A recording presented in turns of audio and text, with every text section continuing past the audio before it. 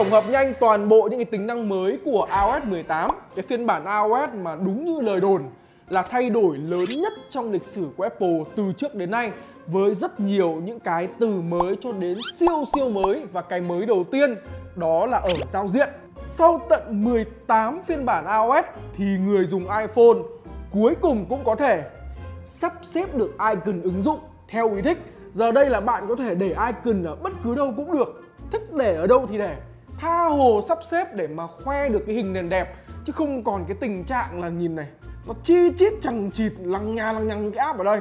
Hình nền đẹp đến mấy nhưng mà nó, nó, nó bị che hết đi như thế này. Thì bây giờ iOS 18 đã thay đổi điều đó. Chúng ta có thể tha hồ mà để những cái ô trống này những cái icon sắp xếp theo ý thích này chống chỗ này chống chỗ kia để mà khoe hình nền thoải mái luôn.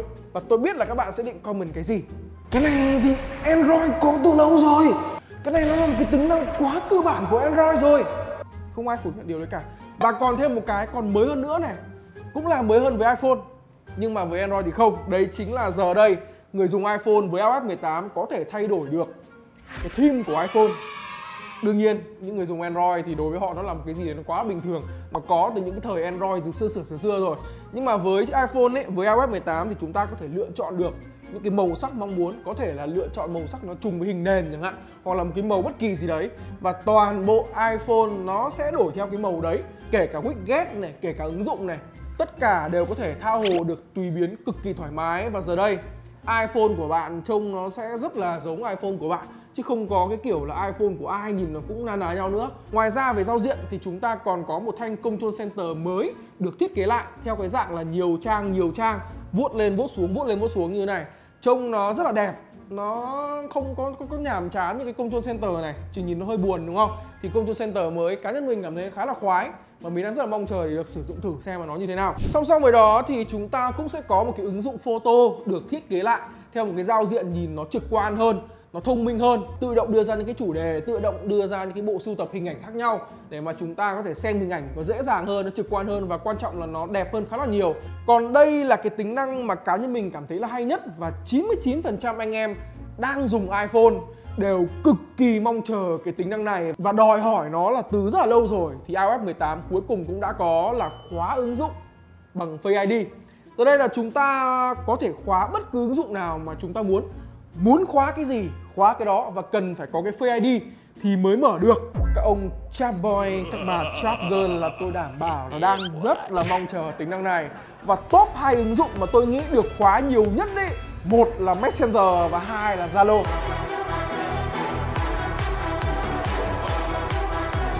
chờ có lên cái là khóa ngay đúng không thế là từ giờ trở đi nhá kể cả người yêu này hay là mấy cái đứa nó tọc mạch này nó mượn điện thoại mình nó vào bên trong rồi nhưng mà nó muốn xem lén tin nhắn của mình các kiểu thì cũng không thể xem được, bởi vì nó cần phải có thêm cái mặt của mình. Đó, một cái tính năng mà mình nghĩ là nó nên cần có, phải có từ rất là lâu rồi. Thì cuối cùng, bây giờ đến iOS 18 cũng mới có. Rất rất là hay. Và quan trọng nhất, không thể thiếu được, món ngon thì phải để sau cùng. Và Apple cũng dành phần lớn thời gian của sự kiện để nói về những cái tính năng AI mà Apple gọi là Apple Intelligence. Đấy, định nghĩa riêng luôn. Không chơi AI thông thường nhá, không nói đến AI nhá đây là những tính năng Apple Intelligence nhưng mà đương nhiên chúng ta đều hiểu nó là AI và mình sẽ nói là AI cho ngắn gọn.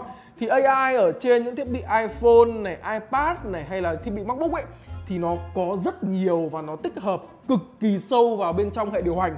Mọi người có thể sử dụng ví dụ những cái từ những cái như là tạo hình ảnh này hay là tạo emoji qua những câu lệnh. Của nó vô vàn emoji nhìn hay cực kỳ luôn tất cả nó nó phụ thuộc vào trí tưởng tượng của mình thôi. Mình có thể tạo ra bất cứ cái emoji gì mà mình thích, chỉ bằng gõ cái dòng lệnh. Đó, cho đến là tóm tắt những cái văn bản này, kiểm tra chính tả này, hay là tự sửa văn bản này, hay là nhận diện những cái thông báo quan trọng hơn này. Rất rất nhiều những tính năng AI được tích hợp thẳng vào bên trong máy. Và với những tính năng AI mới này thì iOS 18 cuối cùng cũng cho phép người dùng ghi âm cuộc gọi và có thể chuyển được cái nội dung của cuộc trò chuyện ra thành dạng text tiếp tục là một tính năng mà rất nhiều người đã đòi hỏi iPhone phải có từ từ phải 6 7 8 năm nay rồi. Thì với tính năng AI mới iOS 18 cuối cùng cũng cho phép ghi âm cuộc gọi này, hay là xóa những cái vật thể không mong muốn này. Cái này thì trên Samsung Galaxy thì cũng đã có từ khá lâu rồi, nhiều điện thoại Android có từ rất là lâu rồi.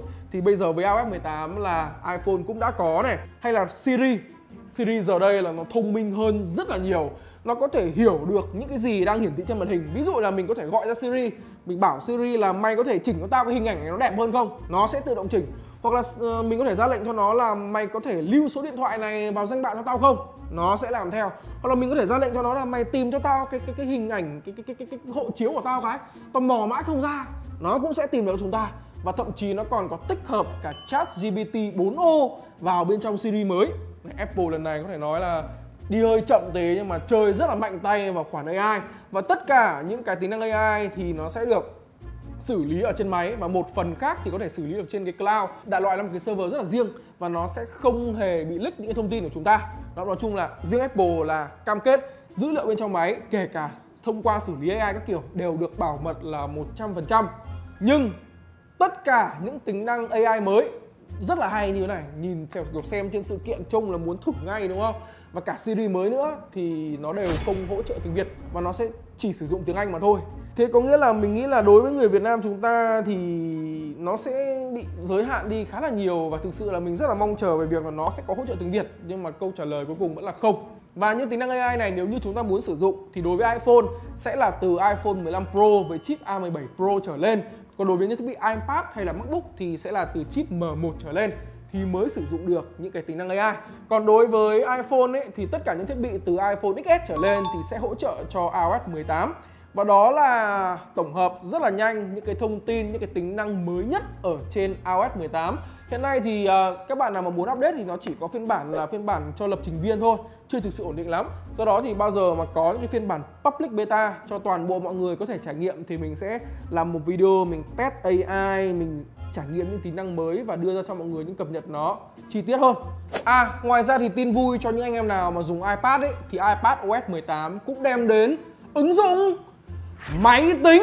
Oh, tuy nhiên cái ứng dụng máy tính này thì thì thì nó không giống với máy tính trên iPhone mà nó còn có thêm một tính năng rất là hay nữa. Đấy là chúng ta có thể dùng Apple Pencil viết vào phép tính viết vào phương trình.